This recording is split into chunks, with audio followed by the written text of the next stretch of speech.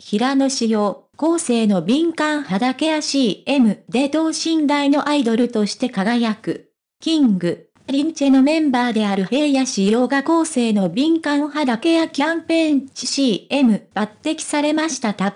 現在放送されている新 CM、会いたくなる肌へ。編では平野が後世の敏感肌ケア製品と、共に肌荒れに悩む女性をカメラ目線で応援する姿が印象的です。また、注目すべきは初めての金髪姿も披露している点です。後世は平野を起用した理由として明るい笑顔と思いやりの心を兼ね備えた平野は後世の敏感肌ケアの優しさや前向きな効果を表現するのにぴったりだと考えました、と述べています。現在、平野は殺虫剤、コンタクトレンズ、シャンプー、焼肉のタレ、芳香剤など、様々な商品のソロ CM に出演しています。化粧品も含め、これらの商品はスーパーやドラッグストアで購入できる一般消費財に分類されます。マーケティングの観点から見ると、平野の特徴は消費者に近い存在である等身大のアイドルとして位置づけられていると言えるでしょう。広告代理店関係者。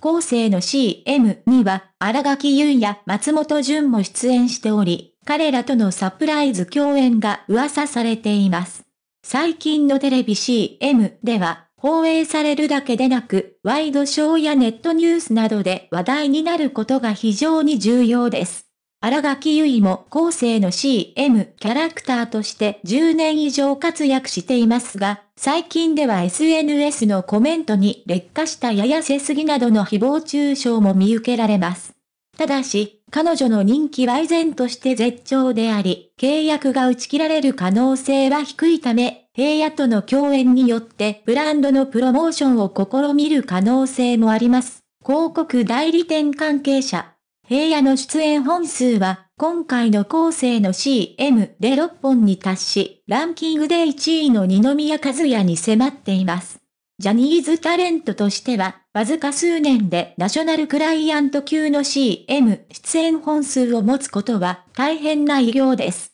彼の場合、グループとしての出演も多いため、実質的な CM、キングと言っても過言ではないでしょう。広告代理店関係者。また、彼は所属グループであるキング、リンチェのッチ CM 出演継続しています、います。例えば、ホンダ技研工業のホンダハートシリーズではメンバーがモータースポーツ好きであることから起用され、白いつなぎを着た彼らがバイクで疾走するシーンは、彼らの自然な表情が見られる仕上がりとなっています。さらに、2021年には任天堂の CM にも出演し、メンバーたちがアバター作りに挑戦する様子が和気あいあいとしており、視聴者も癒されます。最近のジャニーズタレントは、メンバー間の絆をアピールする手法が多く見られますが、キンプリは特に顕著です。ソロ活動も順調ですが、メンバーが集結すると、彼らの存在感が一層際立つと言えます。